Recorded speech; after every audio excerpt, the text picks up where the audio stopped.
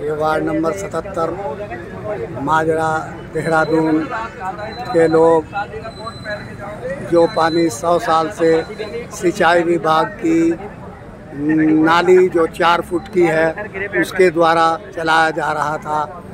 और उसको लगभग पाँच से छः महीने पहले दबंगों द्वारा रोक दिया गया और हमने क्षेत्र के लोगों ने चौथी बार जो है डीएम देहरादून को ज्ञापन देने के लिए सब लोग इकट्ठे हुए हैं और अभी तक इसका इसका निस्तारण नहीं हुआ है।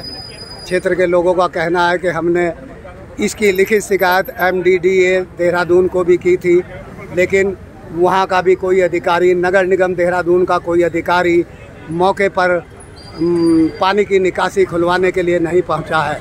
क्षेत्र में संक्रमण संक्रमित बीमारियाँ, डेंगू जैसी बीमारियों का खतरा पैदा हो गया है और प्रशासन, नगर निगम प्रशासन कुंभकर्ण नींद सोया हुआ है। ये पानी की निकासी के लिए चौथी बार हम लोग आ रहे हैं, वार्ड नंबर सतहत्तर गंदा पानी लोगों को खिलाना दिख रहा है। अवैध प्लॉटिंग करके सौ साल से चलता हुआ पानी रोक दिया गया सिंचाई विभाग की नहर है, ये जिसको रोक दिया गया है। और चार फुट की नाला है उसको आगे जो है चार फुट के पानी से चार फुट के चार इंच के पाइप से पानी जा रहा है आर्यन अकेडमी में। अतिक्रमण कर दिया गया पूरा। वार्ड नंबर सतहत्तर माजरा प्रधान है।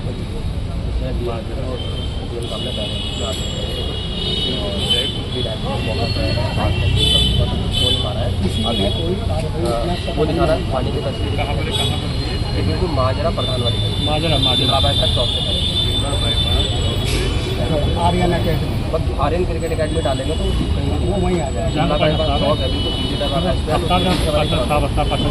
तो दो लोग हैं साहब एक तो जाते अंसारी और एक पंकज क्रिकेट अकेडमी वाले इन्होंने अतिक्रमण कर दिया पूरी सिंचाई विभाग के नाली का।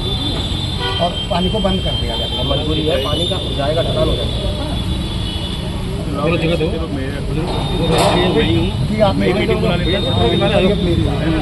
छह महीने से हमारे बहुत बरसात का पानी हम किराया पर रहे मच्छर सारा नगर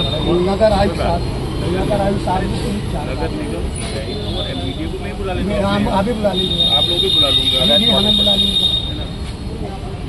हाँ, हाँ, नाम के आगे नंबर लिख कोई बात नहीं मैं नाम दो तो भाई अपना तो इंसान बंद कर देगा।